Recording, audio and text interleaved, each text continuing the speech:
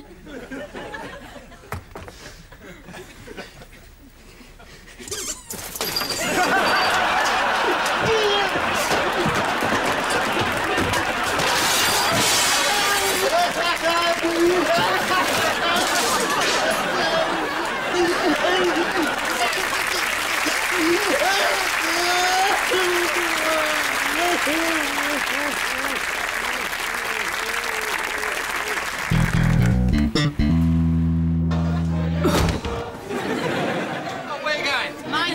business. Oh, like that, is it? You'll be in with my solicitor. Oh, I hope you didn't mind me using the upstairs lobby, but there's a strange man in our one.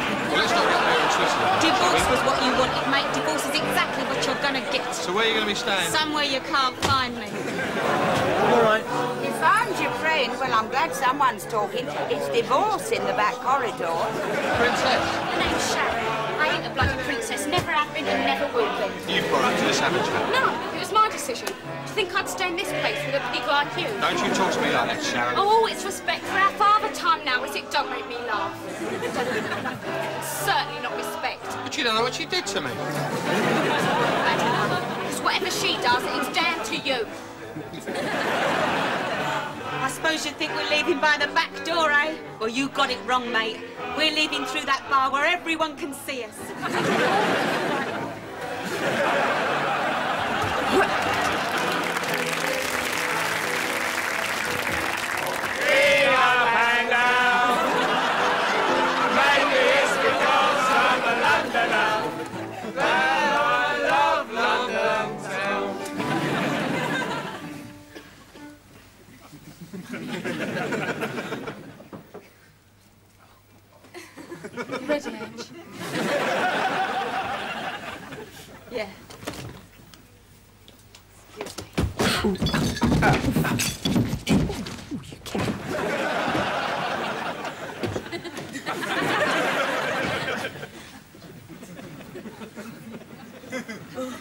Music, maestro, please.